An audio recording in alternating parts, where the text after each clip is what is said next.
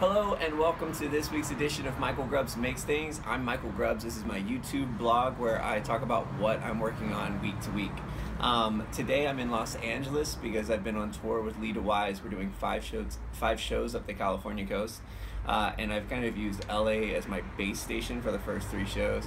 I've been staying in a neighborhood called Echo Park, which is um, a really cool neighborhood here. It's kind of like the Williamsburg or the Bushwick, I guess, of uh, of Los Angeles. Um, obviously, Williamsburg, Bushwick being the, the neighborhoods in Brooklyn where I live back in, in New York. Um, I think it's very different because of the whole car thing. Uh, there's a lot more space here. Everyone drives everywhere. So uh, it doesn't have that kind of democratized feeling of New York where people just kind of get on trains and go where they need to go. Uh, but there's a lot more space, which is so nice. It feels almost kind of like a sprawling beach community here. So it's really laid back. I think that it has an influence on the art that's created here. Uh, in a good way or a bad way, I don't know. I really like the grit of New York, but I really like the lifestyle of Los Angeles. Um, so the jury's still out. Uh, I've been to a couple of really cool parties here. I went to uh, a party called School Night that happens at a club called Bardot. Um, it, it's there's a New York and an LA version of it. Uh, I've played both versions actually with my band Wakey Wakey. Um, a guy named Chris Douridas, who is one of the DJs at KCRW, which is a legendary, awesome alternative uh, station. He throws the parties and books all the bands. I saw a band called Cellars um, that is, uh, I think, a band to look out for. Um, really great kind of musicians band. A band that all the musicians I know are really into.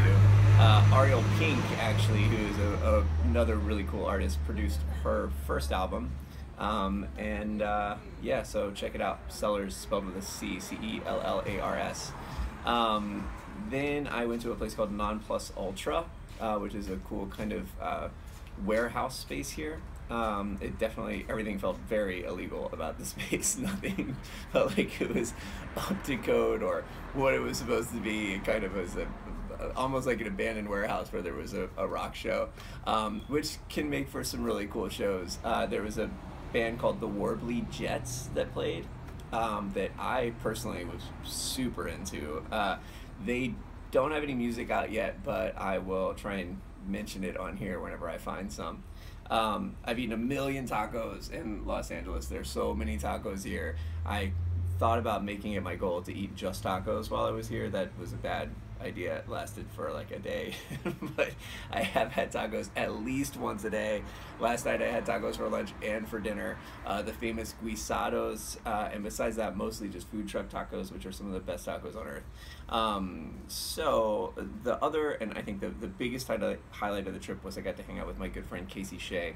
Uh, he is an artist who a lot of you probably, if you've seen me play with Wakey Wakey, you might have seen him open for me, or you might have actually seen him play in the band. He's one of my favorite musicians, uh, super talented guy, and he just had a beautiful daughter named Gigi. She's five months old.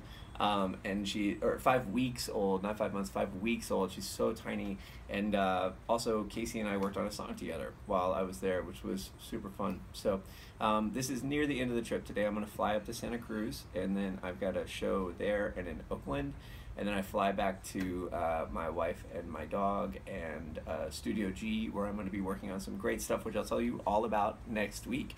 So thanks for tuning in to this week's edition of Michael Grubbs Makes Things. I'll see you guys next Tuesday. Bye.